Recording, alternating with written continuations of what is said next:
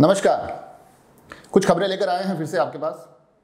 Corona है, क्योंकि चारों तरफ़ कोरोना है तो इन खबरों में कोरोना होना ही है।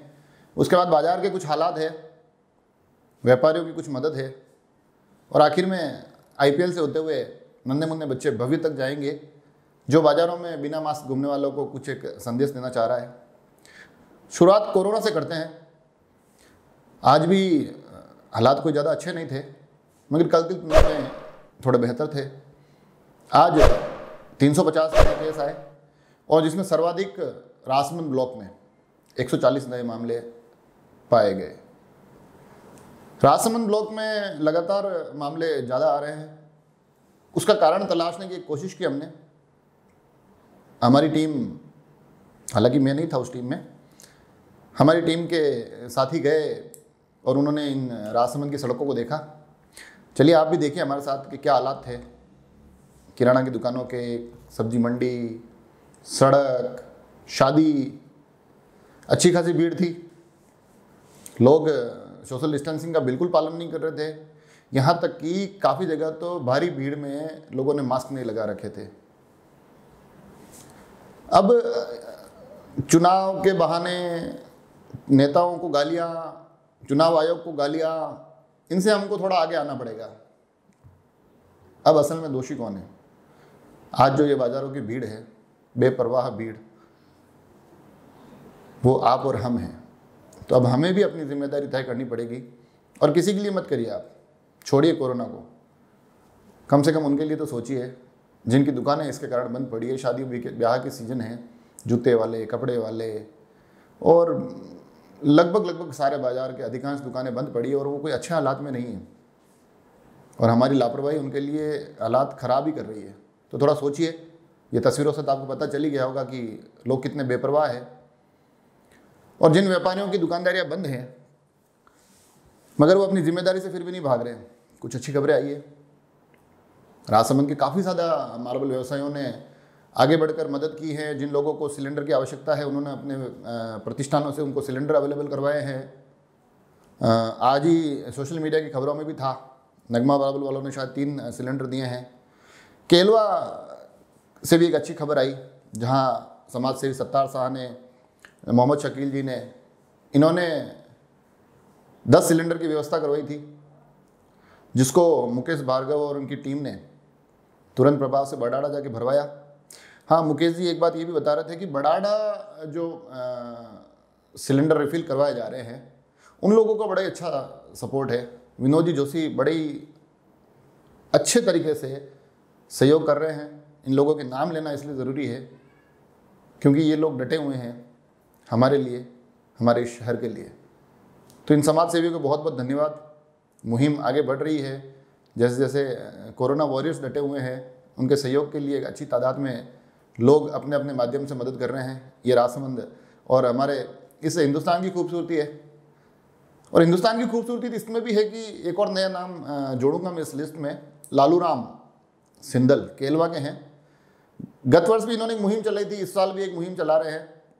हर गर्मी में वो लोगों को प्रेरित करते हैं कि अपने घर के बाहर परिंदे ज़रूर लगाए। एक बड़े अभियान चलाते हैं। और बड़ी खुशी की बात है, केलवा शहर के, केलवा छोटे से कस्बे से निकलकर उन्होंने न केवल राजस्थान के कई जिलों को अपने से जोड़ा, और अब राजस्थान के दायरों को पार करते हुए महाराष्ट्र और गुजरात तक लोगों को उन्होंने प्रेरित किया है कि वो पक्षियों के लिए पानी और दाने की व्यवस्था करें।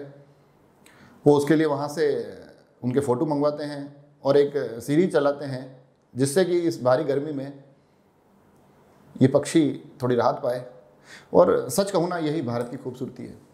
कोरोना के इस विकट काल में हम पक्षियों का भी सोच रहे हैं सोशल मीडिया की कुछ पोस्ट आपको मिलेगी, जहाँ हम गौ माता की चिंता कर रहे हैं। और इटली, अमेरिका, जब शुरू शुरू में कोरोना आया था तो उन्होंने एक फैसला किया था कि बुज़ुर्गों को छोड़िए, जवानों को बचाइए। हमने उस वक्त भी हर एक व्यक्ति की चिंता की थी। यही हमारी ताकत है, यही हमको जोड़े रखती है, यही हमारे देश को खूबसूरत बनाती है। देश में अभी एक, क्रिकेट टूर्नामेंट चल रहा है। देश के दायरों से बाहर से भी मदद मिल रही है। उसमें खिलाड़ी खेल रहे हैं। पेट कमिंस पचास हज़ार डॉलर दिए उन्होंने। हालाँकि एक बड़ी मदद है। देखने वाली बात होगी कि हमारे भारतीय खिलाड़ी इनसे कितने प्रभावित होते हैं या इनसे नज़रें चुराते हैं कि भैया, ये क्या कर दिया तूने? सबकी ज़िम्मेदारी है।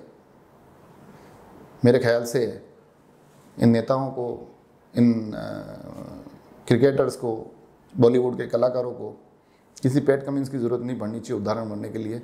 इनको आगे आकर खुद एक मदद करनी चाहिए। एक और खबर आईपीएल से। एंड्रयू टाई एक खिलाड़ी है, जो आईपीएल छोड़कर जा चुके हैं, राजस्थान के लिए खेल रहे थे। और वो यहाँ से जाने के बाद उन्होंने एक स्टेटमेंट दिया है कि भैया जिस देश में अभी इतने बदतर हालात हो, लोग इलाज के लिए तड़प रहे हो, वहाँ हम कैसे खेल सकते हैं या फिर वहाँ की फ्रेंचाइजीज इन खेलों पर इतना पैसा कैसे खर्च कर सकती है? गंभीर विषय है। और ये जो एक दोहरापन हमें देखने को मिलता है बार बार वो वास्तव में एक पीड़ा देता है। आप काफ़ी सारे प्रदेशों में कर्फ्यू लगा हुआ है। किसी प्रदेश में, मैं तो कह रहा हूँ, मास्क लगाकर दस लोग एक साथ खड़े रह जाए ना। तो पुलिस वाले आके अच्छी खासी मरम्मत कर देते हैं उनकी। मगर वहाँ इतना बड़ा आयोजन हो रहा है। क्यों हो रहा है? कैसे हो रहा है? विचार करने वाली बात है। खैर, ज़्यादा गंभीर बातें नहीं करेंगे। अच्छा भी नहीं लगता है। और नेताओं को हम बड़ी गालियाँ देते हैं।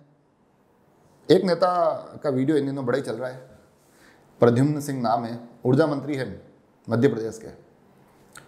और अच्छा लगता है जब नेताओं के ऐसे दृश्य देखने को मिलते हैं। हम उम्मीद करते हैं हमारे यहाँ के नेता भी कुछ इस तरह से डटेंगे, जुटेंगे और मदद करेंगे। एक वीडियो जिसकी बात हो रही है, उसमें ग्वालियर के एक बड़े प्लांट ने खुद के प्रोडक्शन को बंद करके वहाँ की ऑक्सीजन मरीजों के लिए, हॉस्पिटल्स के लिए सप्लाई करनी शुरू की। और ये देखकर वहाँ के ऊर्जा मंत्री उस प्लांट के कर्मचारियों के सामने घुटनों पर बैठकर उनका धन्यवाद करते हुए दिखाई दिए। सच में ये बड़ा ही भावुक करने वाला दृश्य था और अन्य नेताओं को प्रेरणा देने वाला भी दृश्य था। तो काफ़ी सारी बातें हुई। ध्यान रखने की वास्तव में ज़रूरत है। और एक मैसेज जो मैंने कहा, भव्य बना, छोटा सा बच्चा है, एक मैसेज आपको देना चाह रहा है सभी को, विशेष तौर कर तौर से उनको, जो इन भरे बाज़ारों में लापरवाही से बिना मास्क घूम रहे हैं, थोड़ा तल्ख मैसेज है, सुनिए, बात गलत नहीं है। कल फिर मिलते हैं। धन्यवाद। नमस्कार, जानवर और इंसान में एक फ़र्क होता है। जानवर मास्क नहीं पहन सकते, इंसान मास्क पहन सकते हैं। तो आपको डिसाइड करना है आप जानवर है या ओके इंसान। Thank you